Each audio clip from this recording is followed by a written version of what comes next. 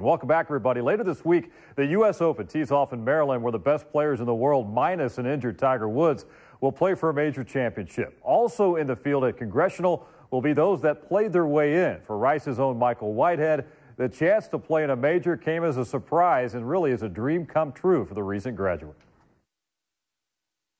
I thought golf was an old person sport. I played baseball, basketball, any, anything but golf. Um, and then I would have been about 13 or 14, and I, I, went out and hit one really just awesome drive, just long and right down the middle, and uh, was kind of hooked.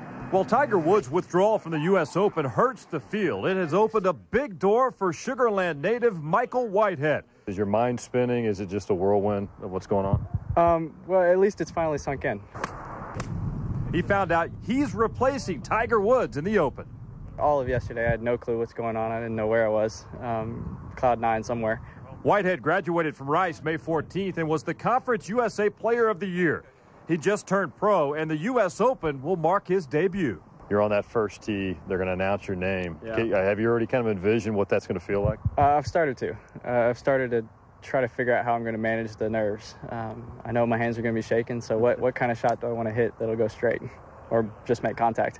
so we'll see. Because you did literally just turn pro. How long? Yeah. Uh, maybe a week. I think this will be my first real professional event, so that's quite a quite one quite a one to start on. Is that something to maybe uh, tell your kids and grandkids about one day? I'm sure. All right. Good luck to Michael. We'll be following him later this week.